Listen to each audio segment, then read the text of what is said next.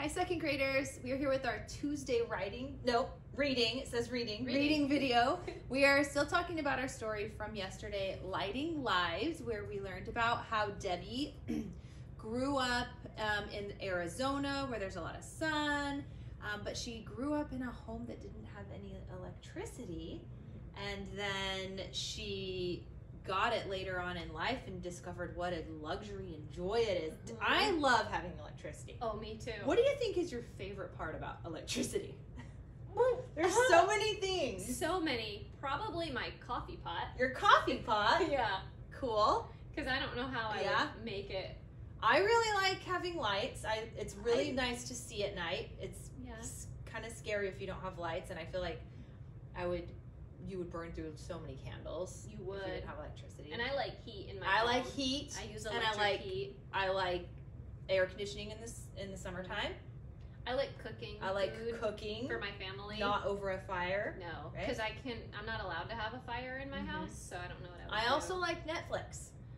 I like Netflix too, and my computer. Yep. How would we Zoom with we our wouldn't class? we wouldn't be able to charge anything. or make these videos. Yes. YouTube wouldn't Yes. exist. So Hmm. we know how Debbie feels. It is it genuinely is a luxury and a privilege that we live in a place where we have electricity.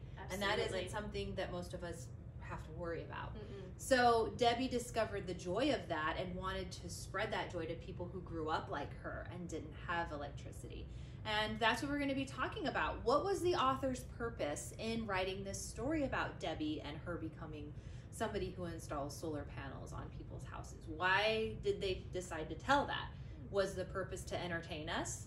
Was the purpose to persuade us or convince us to start putting solar panels on all of our friends' houses?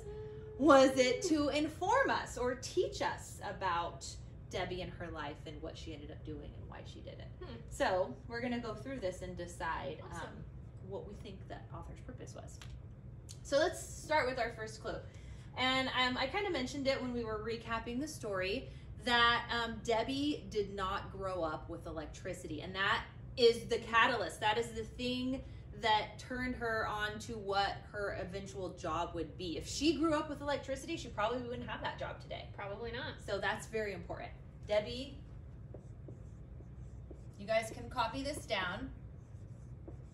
Grew up without electricity. Okay. Now, we aren't going to write this down because we want you to listen and then write down what we're talking about, but let's discuss something that happened because of her not having electricity. What Sure. could they put there? Well, I remember that she wanted to start helping people in her community who also didn't have electricity. Yes. So she ends up figuring out more information about solar panels, and she finds that that's such a great way for people to get electricity from the sun, since she lives in such a sunny area, mm-hmm. Um, that she starts this business Mhm. putting solar panels on people's homes. Yeah. So literally anything that Miss Marquardt just said, you can use. That she ends up putting solar panels on people's houses. That she wants everybody to grow up with electricity. That she wants to spread the joy of electricity to her community. Any of those things would be great for you guys to put as your second clue. Or if you want to put something that we didn't mention at all, that's totally up to you. And let's talk about author's purpose. What do we feel like the author was intending using these clues? Well, I remember you going over the different types of purposes that authors have. So we have our PIE, Uh-huh. so P I E. So we have P for persuade, uh-huh. which means to try and convince us to do something. uh-huh. We have I, which is to inform, just to give us information about a person or a time in history or, or an event. And then we have E, which is to entertain. When I think of entertain, I think of like a Dogman book Yeah. because it's just for fun. I'm not really reading it for a purpose to learn anything. I'm just enjoying An it. exciting adventure. Yes. And although this is very important, I didn't feel like it was an exciting adventure that I wanted to come back and see where the main character goes next and what problem and solution they solve. me either. So And I, might not choose that one. Let's talk about persuade Uh-huh. because she is helping her community, which is a really good thing to do. Mm-hmm.